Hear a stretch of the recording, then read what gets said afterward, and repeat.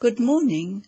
Welcome to morning prayer from St. Paul's Church, Parkhurst, for Tuesday, the 21st of June. A prayer by Anna Marie Pauline Campbell.